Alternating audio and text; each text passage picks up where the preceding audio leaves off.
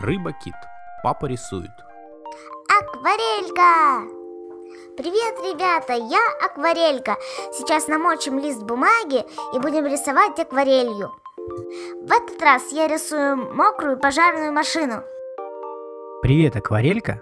Привет, ребята. А я папа, который вам поможет.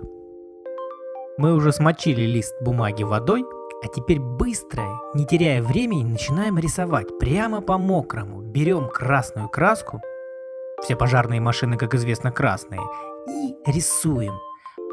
А коричневой краской прямо по мокрому рисуем колеса, берем побольше краски с водой и капаем, пусть это все растекается по нашей бумаге.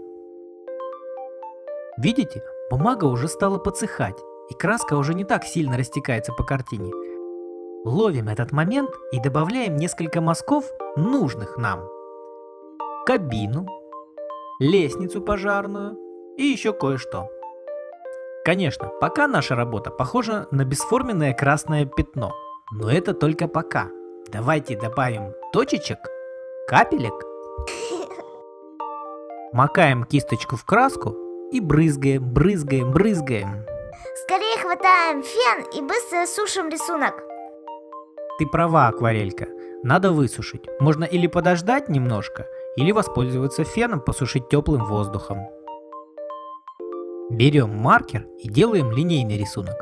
Я начну с колес. Пожарной машины их 6, я нарисую 3 видимых. Теперь кабину. Она у нас полукруглая такая. Зеркала заднего вида, фары, бампер и улыбочку. Небольшие глазки – Конечно, сирену, она у нас ярко мигает. Нарисую лесенку, дверь для водителя, пожарный рукав. Он похож на такую большую-большую улитку. Вот мы подошли к самому главному пожарной машине. Это к лестнице. Еще нарисуем дорогу, по которой едет наша пожарная машина. Она спешит на помощь людям. Моя пожарная машина стала красной и веселой, как я и хотела. Я повешу этот рисунок над кроваткой. Рыба-кит. Большой канал для самых маленьких. Ждите новые мокрые рисунки акварельки. Или смотрите другие ролики на нашем канале.